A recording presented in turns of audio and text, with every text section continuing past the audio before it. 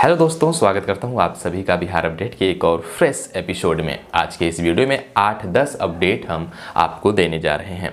आपके बड़े ही काम का अपडेट है तो इस वीडियो को लास्ट तक ज़रूर देखिएगा।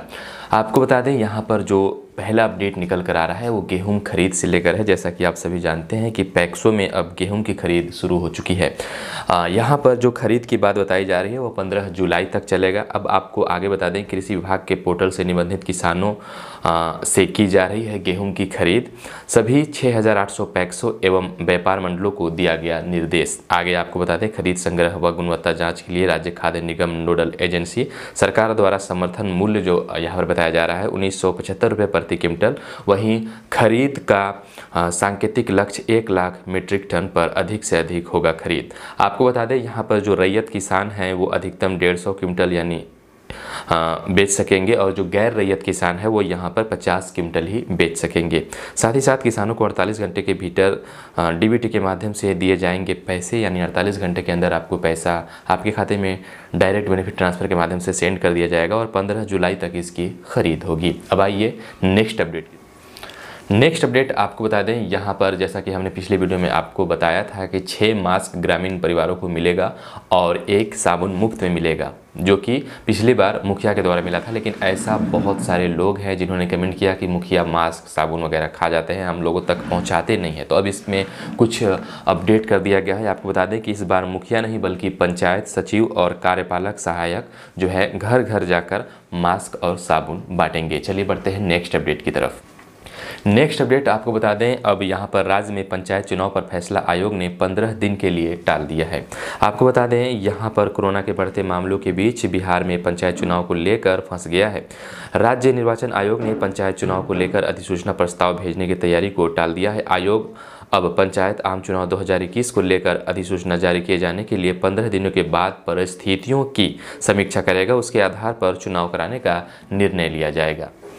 अगला अपडेट आपको बता दें, यहाँ पर कोरोना का जो सीज़न चल रहा है, उससे आप वाकिफ़ ही होंगे। आपको बता दें, मुझे बताने की ज़रूरत नहीं यहाँ पर बहुत सारी न्यूज़ में आप देख रहे होंगे, जो सिचुएशन जो हालात अभी चल रहे हैं, कोरोना को लेकर अगले दस दिनों के अंदर दो लाख से ज़्यादा केस आ सकते हैं। ऐसा बिहार सरकार का मानना है। उन्होंने कोर्ट को ये जानकारी दे भी दिया है। तो इसको लेकर काफ़ी तैयारियाँ चल रही हैं। आपको बता दें, एक सौ एक अनुमंडलों में बनेंगे अब क्वारंटाइन सेंटर जैसा कि पिछले बार बना था, और इस क्वारंटाइन सेंटर में आपका सभी ख्याल रखा जाएगा, यानी खाने पीने से लेकर आपके नौकरी यानी जॉब वगैरह का भी आपका ख्याल रखा जाएगा। ऐसा सरकार की तरफ़ से वादा किया जाता है, लेकिन इस पर कितना खरा उतरती सरकार, ये तो आप भली भांति समझ पा रहे होंगे। तो यहाँ पर बताया जा रहा है कि मुख्यमंत्री नीतीश कुमार की अपील के मद्देनजर आपदा प्रबंधन विभाग ने एक सौ एक अनुमंडलों में क्वारंटाइन सेंटर का काम शुरू कर दिया है। आगे आपको बता दें, मुख्यमंत्री ने प्रवासी श्रमिकों से अपील की है कि वह घर लौट आएँ। यानी आप समझ पा रहे होंगे कि यहाँ पर श्रम संसाधन विभाग ने भी अपील कर दी है कि जो प्रवासी मजदूर हैं, जो बाहर के प्रदेशों में काम कर रहे हैं, जैसे दिल्ली, मुंबई, कलकत्ता, चेन्नई में काम कर रहे हैं तो वो अपने घर को वापस लौट आएँ। चूँकि जो सिचुएशन है, वो दिन ब दिन खराब होते जा रहा है और ऐसे में जो लास्ट सिचुएशन रखा गया है कि लॉकडाउन लग सकता है तो सही समय रहते वो अपने घर लौट आएँ ताकि उनको परेशानी ना हो।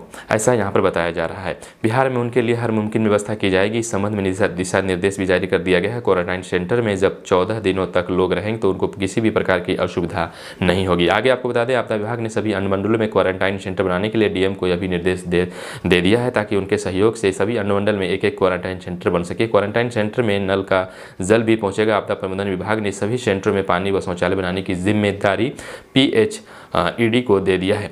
बाद में पीएचईडी ने इस आलोक में काम शुरू कर दिया। विभाग ने सभी क्वारंटाइन में नल, जल का पानी जो पहुँचाने के साथ साथ सेंटर की क्षमता के मुताबिक शौचालय का भी तैयार करने का निर्देश दे दिया है। अधिकारियों को दे दिया है सूरत, अहमदाबाद, मुंबई, पुणे, दिल्ली, गाजियाबाद, फरीदाबाद, गुड़गांव, नोएडा, कोलकाता, बेंगलुरु एवं अन्य शहरों से आने वालों को इन क्वारंटाइन सेंटर में रखा जाएगा।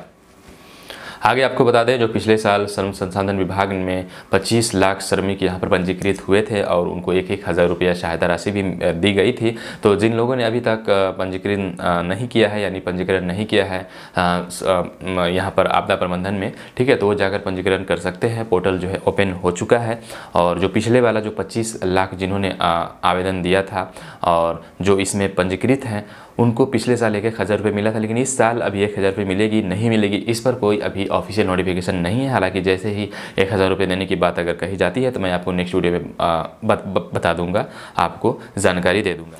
अगला अपडेट जो निकल कर आ रहा है, आपको बता दें क्वारंटाइन सेंटर से ही आपका निबंधन हो जाएगा। यानी जब भी आप बाहर के प्रदेशों से आएँगे तो आपको क्वारंटाइन जो रखा जाएगा चौदह दिन के लिए तो वहीं पर आपका निबंधन होगा। दूसरे राज्य से आने वालों का निबंधन श्रम विभाग के माध्यम से ही वही क्वारंटाइन सेंटर में निबंधन किया जाएगा। साथ ही बैंक खाता आधार संख्या सहित पूरी जानकारी ली जाएगी ताकि उन्हें सरकार की योजनाओं का लाभ मिल सके। आपको बता दें, निबंधन के बाद श्रमिकों को उनके सिकल्स के तहत रोज़गार, स्किल के तहत रोज़गार वगैरह भी दिया जाएगा, उससे जोड़ा जाएगा। हालाँकि जो रोज़गार की बात है, इसमें कितनी सच्चाई है, इसके बारे में आप खुद स्वयं जानते होंगे कि बहुत सारे लोग हैं, चूँकि पच्चीस लाख कम नहीं है और ये श्रमिक जो पंजीकृत है यहाँ पर, उसकी आंकड़ा बताई जा रही है। हो सकता है इससे भी कहीं ज़्यादा हैं जो बाहर के प्रदेशों में काम कर रहे हैं। तो इतने लोगों को रोज़गार क्या सरकार दे पाएगी? नहीं दे पाएगी? ये एक बड़ा सवाल है। अगर दे पाएगी तो क्या वो संतुष्ट होंगे। यहाँ पर जॉब कार्ड की अगर बात करें तो जो जॉब कार्ड जो लोगों को बनता है, उस जॉब कार्ड के तहत लोग जो काम करते हैं, उसका भी उसको पैसा नहीं मिलता है। करप्शन इतना बढ़ चुका है कि जॉब कार्ड वाले को जो पैसा भी आता है तो सेटिंग करके वगैरह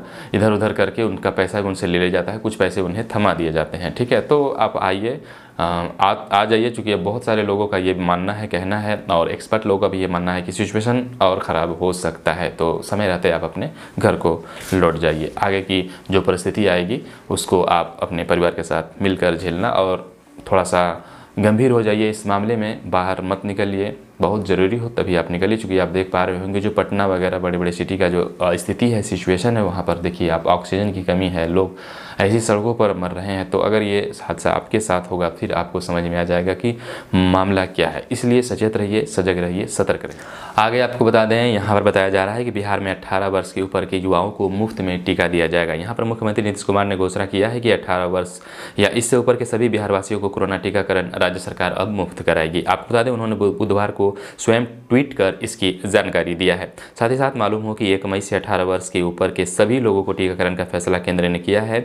इसमें केंद्रीय स्वास्थ्य मंत्रालय ने स्वास्थ्य मंत्रालय ने कहा था कि 18 वर्ष के ऊपर को टीका या तो राज्य सरकार लगवाएगी या फिर निजी अस्पतालों में लगाने होंगे। इसी से अंतर्गत सीएम ने घोषणा की है कि राज्य सरकार अपने संसाधन में इनका टीकाकरण कराएगी। मालूम हो कि बिहार में पूर्व से भी पैंतालीस वर्ष से ऊपर वाले को मुफ़्त में टीका टीका जो है वो दिया जा रहा है।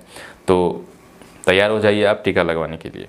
आगे आपको बता दें, यहाँ पर बताया जा रहा है कि श्रमिकों को आयुष्मान से जोड़ने को दिया 110 करोड़ का प्रीमियम। तो जैसा कि हमने आपको पिछली वीडियो में बताया था, जो हेल्थ कार्ड है, उसके बदले अब यहाँ पर जितने भी लोग हैं, उनको जो है आयुष्मान कार्ड से जोड़ दिया जाएगा। जो तीन हज़ार उनके बैंक अकाउंट में आते थे, वो अब नहीं आएगा।